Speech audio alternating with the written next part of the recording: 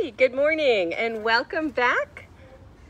I would like to thank you for joining me here again on a Tuesday morning with our Facebook and Instagram Live. Um, I'm Suzanne. I'm a horticulturist here at Rogers Gardens, and this morning we're going to be discussing how to take care of your garden in June and what you should be doing to um, make everything just pop. And I'm gonna, I'm kind of gonna start this one. I'm gonna tell Sarah, who does our Thursday videos, happy anniversary. She's off on a trip right now, 20 years married, so woo, good job. um, also, um, I just want to talk about a customer who came in yesterday kind of helped me round out what I was thinking about what you should know about um, gardening in June. She brought by a picture of her neighbor's garden and she said, this is my neighbor's garden and this is my garden and we have almost the same plants. Why does her garden look so good? And I said, it's because she's taking really good care of it. Um, not to say that my customer wasn't, but her neighbor was going the distance, adding that extra little oomph that will actually make a difference in your garden. And so um, the thing that we're going to talk about a lot is making sure that you have good fertilizing practices. Um, it cannot be said enough. If you want to have a big, beautiful, bursting garden, fertilizer is going to be your best friend. It makes a huge difference. You want to have color, you want to have growth, you want to have it to fill in and look lush and beautiful.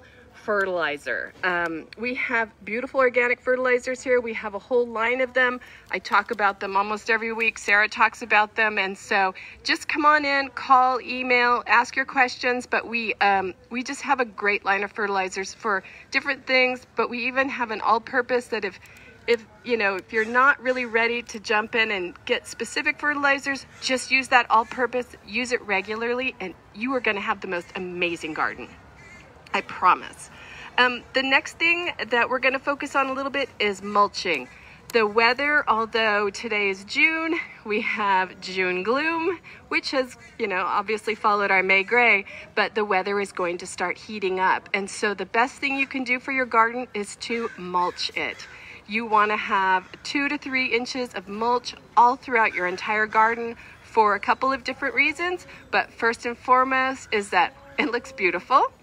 Second, it's going to help with uh, evaporation. It's going to keep your garden uh, hold that water in longer. You can save 30 to 50% on your irrigation bills if you mulch well. So, I mean, why wouldn't you want to do it? It makes your garden look beautiful it helps you save water, and the best thing is that it helps uh, suppress weeds. And nobody likes to go out there and weed their garden, so mulch is going to be just amazing. And you can use cedar mulch or redwood mulch. You can even just use a good soil amendment on top of your soil if maybe you feel your soil is lacking. Feel free to get a bag of the Malibu compost and kind of sprinkle it around your garden with some of those worm castings that we discuss every single time we do a video. But mulch, mulch, mulch. It's going to help get you through the summer with less water, less weeds, and a more beautiful garden. I can't emphasize it enough. Um, certain crops like um, avocados, which um, part of the June tips is that you want to plant your avocados now. It is a great time. They're a tropical plant, like a subtropical plant, so you want to keep those roots really cool. So mulching around your avocado is super, super good and um, will help it establish itself really well this month. Um, the next thing that I want to tell you about is pest control.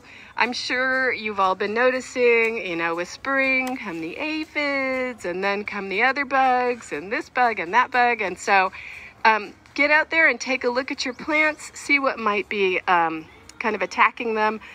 We are full blown in aphid season right now, and so um, there's a couple of things that you can do. You can squirt them off with a hose daily. It's going to rinse dirt and dust and mites. Spider mites come out about this time of year, but aphids as well. If you're out there looking, checking, and spraying off your um, plants, you're going to have less of a problem. Also, with fertilizer and worm uh, castings, you're also going to have less of a problem with pests. So, preventative measures will help you get through the summer. But if you do have aphids right now, a good light insecticidal soap will help you. If you have a bigger infestation, you know, those worm castings and the soap And then if you have things like um, whitefly, you're going to use an oil-based soap. But um, try and strengthen your plants right now so in the heat of the summer when they might be slightly weakened, the pests don't attack them. Um, the things, things that you might want to be planting right now, if you haven't started tomatoes, it is not too late. We are just getting into the heat of the summer, so you can plant your tomatoes now. We have a nice assortment. We have cherry tomatoes and mid-sized tomatoes and beefsteak. So feel free to plant them now. Get them in before it gets too hot because uh, they're going to transplant nicely and they'll start growing and producing tomatoes. And who doesn't love a fresh grown tomato? Uh, you can also start growing corn right now. I would say no later than now to start your corn. Get it in the ground if you want it. And uh, make sure that you plant at least 12 to 20 plants because they need to pollinate each other. You'll be working on shaking the plants to get them to pollinate, but um, corn now and thinking ahead, if you want to have pumpkins for Halloween, now is the time. You need to start planting your pumpkins now, start uh, mulching underneath them, and getting it ready for the big event, which is either lots of little tiny uh, pumpkins or that really giant one that you can put in front of your house. Um, really no later than the 1st of July for pumpkins to go in. You can still put in green beans, you can put in herbs. It is a great time to get a lot of basil in the ground right now. Up until this point, basil was kind of a hit or miss thing depending on the weather, but now that it's really going to be warm enough, plant that basil, plant that uh, cilantro, coriander, and all of those kind of tender herbs because it is warm enough now. Um, you can also put cucumbers. I'm looking at my list here. Cucumbers, you can start your winter squash. Um, put those peppers in. It is um, a lot of people think that because they didn't start super, super early, but you forget we have so much heat coming ahead. It's going to be great for vegetables. The only thing that I would say is, you know, um, if you're going to plant lettuce or uh, tender spinach and things like that, you're going to put it in a cooler area of your garden or try and uh, buy the heat resistant varieties, either by seed or starter. Um, there's some like mesclun and things like that that you can do for warmer weather.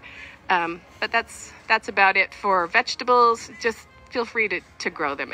Don't be intimidated.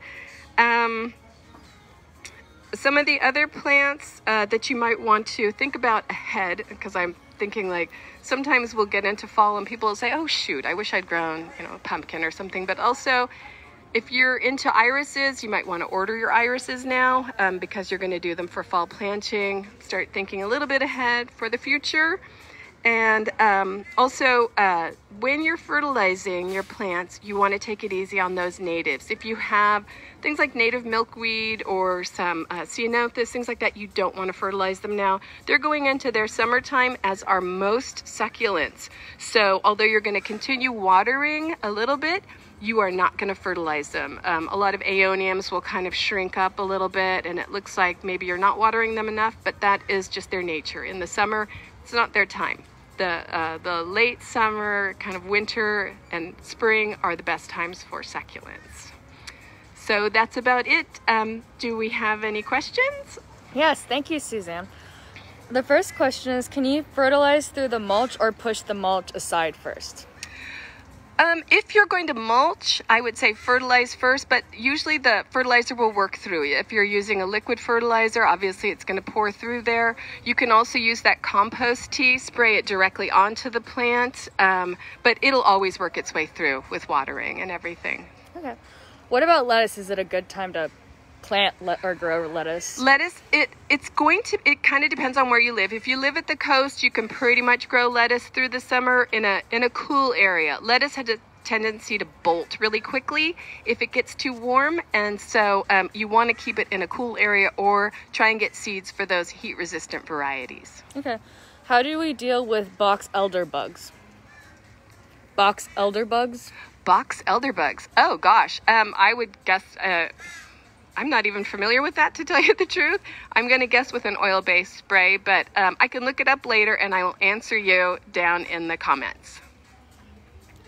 What about fruits? Like- what about fruits? Like we what have type of fruits to grow? I guess. Okay, well, you can still plant strawberries and things like that. You can plant trees. You can plant your citrus if you can find it. We have apple trees and peach trees and nectarines and things like that. We have blueberries. You can plant them all, although you might not get your crop this year. You can do it, but definitely don't wait uh, until it gets super warm. You don't want to plant uh, too many things when it's super, super hot. There are very few things that like to be planted when it's, you know, July, August, September. So if you're going to plant your fruit trees, get them in now. All right. What do you recommend to fo- for sorry for insecticidal soap? Uh, we have a really good safer that's really, uh, it's nice, it's mild. I think we even have a, um, I think we have two different insecticidal soaps, but I know the safer is a good one. We have it as a ready to use spray and as a concentrate as well. Okay. How do you get rid of pesky aphids on your tomato plants? Oh, on your tomato plant. Yeah, it's, it's so funny. You can squish them. Um, you can put gloves on and squish them. you can blast them off with a hose. You want to be real careful of the fruit and the flowers, of course, but also an insecticidal soap. Use the mildest thing that you can to see if it'll work. But again, those worm castings, using them two or three times a year in the soil is going to help your plant strengthen up against aphids. It's going to make the plant uh, not be uh, not taste good to the aphids. So okay. How can you get rid of earwigs? Earwigs. Oh gosh, those are such a pain. Uh, they're kind of. Um, we have a Sluggo that is. Um, it's called Sluggo Plus. So it's for snails and slugs, and for earwigs and pill bugs. And so you can use that. Um, it's it's an interesting thing. Um, also, I just kind of want to side note. Um, I noticed a possum on our security camera the last few nights, and it's funny because uh, possums are your friend. Possums eat tons and tons of bugs. So although they may seem kind of weird to have in the garden, they are a super beneficial little being critter thing that's out there. Not a bad thing. So keep them out there to eat things like earwigs and snails and slugs. Yeah. How do I prevent ants from climbing on citrus trees? Oh, okay. Ants. Ants are an interesting thing. Hard to get away from, but ants are usually an indication of aphids. So you want to treat the aphids. The ants will climb into the tree and they will actually protect the aphids and the whiteflies and things like that because they farm them for their poop basically, um, for the honeydew, uh, which turns into black sooty mold. Uh, the ants really love having aphids there, so they'll do everything they can to make sure that they are safe. So what you want to do is get rid of the aphids, and you will not have ants in your trees. Is it okay to plant artichokes right now? You can. It's it's uh, not probably going to be the best year for an artichoke, uh, but next year, yes, it'll be great. Okay. When should you plant sweet peas? Sweet peas, the flowers, uh, or sweet peas, the vegetable. The flowers, uh, they're kind of done. You, you might still have some in your garden, but we usually bring in our super fancy, um, excuse me, sweet peas around the end of November. Uh, those are the ones that Steve Hampson will hand select, and then we bring them to a grower here, and then we start selling the little starts. Um, because they're daylight sensitive, they don't really grow until I think it's December 21st when the days start getting longer. It's a really cool thing about sweet peas. Um, some of them are not daylight sensitive and they'll bloom a little bit earlier, but that's a whole different topic that Steve's probably going to handle. But um, sweet peas, usually end of November. You can plant them then as well, but we also sell the starts starting in November and usually through about March or so. What's a safe way to keep snails away from your plants? Have a possum. No, just kidding. Um, two two different things. You can use Sluggo, which is a really safe um, plant. Uh, snail product for pets and children, but you can also water differently. So, mulch will help, but watering deeply less often, as long as the top of the soil is dry, snails and slugs don't want to go on it. It's as long as they have moisture to keep them going. So, whatever it takes for you in your garden to keep the top of that soil as dry as possible is going to help deter slugs and snails. Okay, back to the sweet pea comment. It was sweet pea flowers. Sweet, yeah, that's what that's Yep. what we talked Okay. about. Yeah. Okay. Can the carrots be planted now? And if so, which seeds are the most nu- nu- nutrient dense variety. Sorry. Oh, nutrient dense. Yeah, Gosh, nutrient I don't know which carrot is the most nutrient dense, but yes, you can plant carrots right now. You can do a lot of things carrots, beets, radishes, everything like that. It's a perfect time to put them in the ground because uh, carrots are better put in the ground than transplanted. Um, so, I mean, I would imagine that they're all super, super good and much better for you. Obviously, if you pull them out of the ground and eat them than if, uh, from a, a store. But the stores are good too. Okay, thank you. and seems to be the last question. What do you do when you can't get rid of white flies on hibiscus? That is a great question. Again, those worm castings, uh, I have, um, I always tell the story that my son had uh, white flies all over his hibiscus. It was terrible. And I just told him, get worm castings, blast them off with a hose every two days for two weeks. And eventually the worm castings will work. If it's really, really bad, you can use an oil based spray. You want to smother those white flies, but definitely use the worm castings as well because, again, it works through the roots, through the plant, and makes the plant not appeal to the white flies. It's it's an amazing thing. Also fertilizer. The stronger your plants are, the better they're going to fight off those bugs. All right. That seems to be all the questions today. Thank you, Suzanne. You're welcome. And I'd like to just say a happy birthday to Bimmy, who is here. she's she's sometimes asking questions of me, but she's just celebrating today. Thank so you. happy birthday, Bimmy. Thank you, Um, she does so so very very much for us in our marketing group. Um, on Thursday, uh, we're going to have Steve Hampson here. He's going to surprise you with our flower of the week. And I also want to mention um, because it's June 1st, we're switching our flower of the month. This month it's Vincas. Last month it was marigolds. So it's buy two get one free, and that's whether it's a four inch plant or six packs. So we have a beautiful assortment of Vincas over there that we're loading onto the tables. We're ready for you. Anyway, that's it, for me. Uh, please go to rogersgardens.com. You can shop online. You can pick up here in the store or have it delivered. We also have Facebook and Instagram and our YouTube channel where you can subscribe and listen to us all day long. Okay? Thank you very much for joining us. Bye.